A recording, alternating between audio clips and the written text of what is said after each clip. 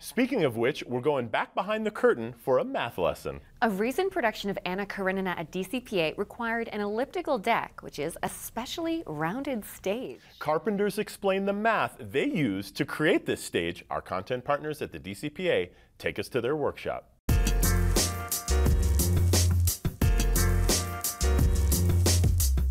Anna Karenina in the Stage Theater, we're laying out an elliptical deck, and for purpose of retraining our carpenters, refresher training, we wanted everybody to see several ways to lay out an ellipse in full scale. This is a 19 by 16 foot path ellipse. If I draw a line to a point from one focus and then to the other focus, the combined length of those two lines is the same for any point on the whole thing. I don't want the audience to, to think that it was a mathematical exercise to create what they're seeing on the stage, but the designer had asked for an elliptical deck uh, just in order to initially get that shape. We have to use a little bit of math and some theater trickery to try to lay it out. The eye does actually perceive things that are not true or have small blemishes. But even though this ellipse is very large, if it doesn't continue properly and if it's not symmetrical, the audience will actually notice that. I showed a technique with a tool that we built a few years ago that requires less math, and, and it's just a different way to do it.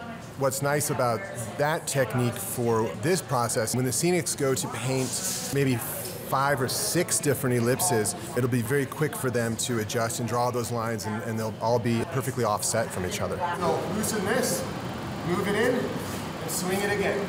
Those will never have to change.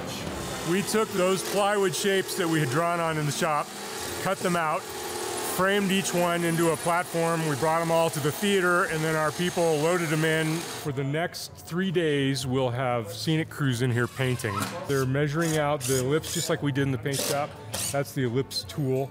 And now we're going to draw the ellipses on top again. So he's laid it out from that side of the stage and he's going to draw it over to the other side and see where we meet. We've hit our line in about seven eighths of the places, and then on this one side over here, we're off by just about that much and the scenic artists will fudge that. Look at that! He drew the line all the way to here, and this is where we are. So in the paint shop, that's the same line we drew, and the plywood that's underneath.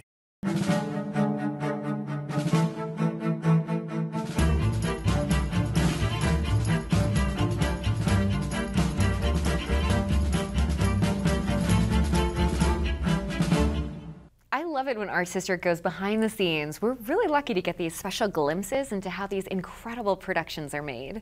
Yes, yes, yes. And there's more. The DCPA has another video from the Standing Equation Math and Art series. You can learn all about building pentagons for their five-sided stage in the Space Theater by visiting us at rmpbs.org slash artsdistrict.